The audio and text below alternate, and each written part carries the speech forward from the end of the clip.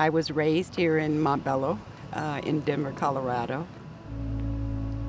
Uh, transportation back in the 70s was really good. It was cheap. it was accessible.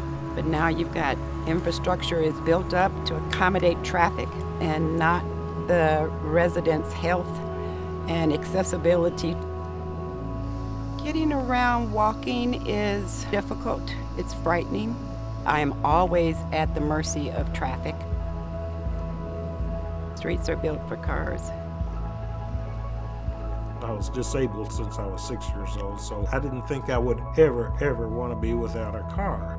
As I became more disabled and had to uh, use, start using a wheelchair, I sold my van and decided that I would just use Access-a-Ride. Access-a-Ride is the public transportation for people with mobility problems. I did that for a while until the frustration over the problems that I was having with Access-a-Ride, late arrivals, being late for work, things like that.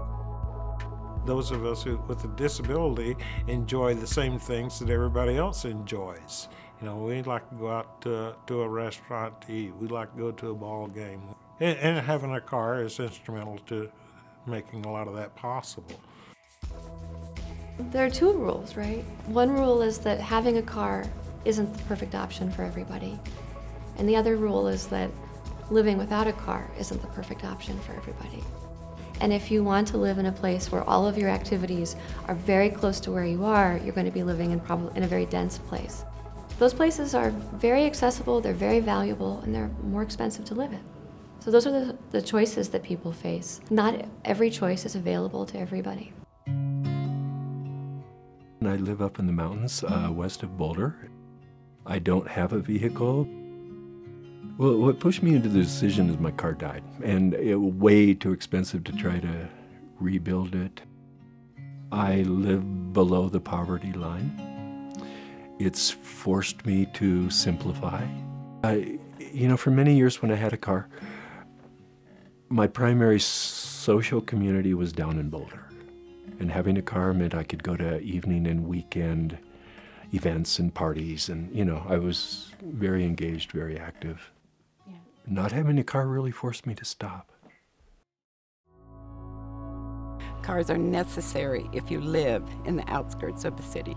We are literally trapped here in Montbello right now. Um, the only way out is the main artery of using Peoria Street. It's, it's an inconvenience to the, to the pedestrian. You know, we don't, we are not the priority. It's sad because it affects our health. It affects our community, you know, how we relate to one another out in public. And many people, instead of having the ideal situation, are really making trade-offs between where they live and how they travel.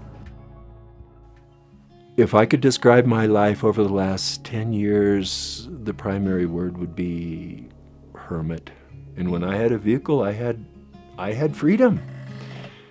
I could just pick up and ride over to Strawberry Hot Springs. I, you know, I could, I could do things, you know.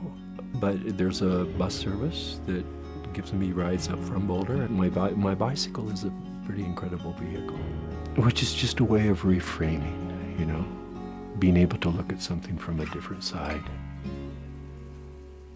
And I have a wheelbarrow. What else do you need?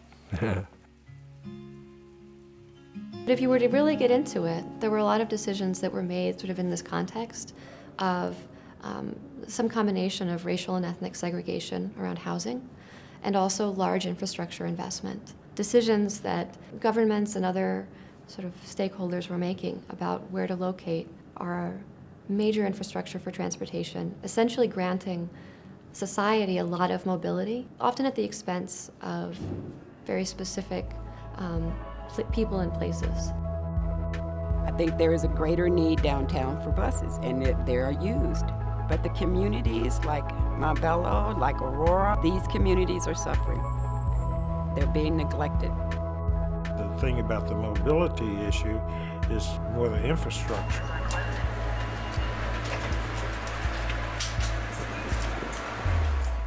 If you want public transportation to work, you got to be able to do the same things that you uh, do in a car. You have to be able to go get your groceries and be able to load them on there.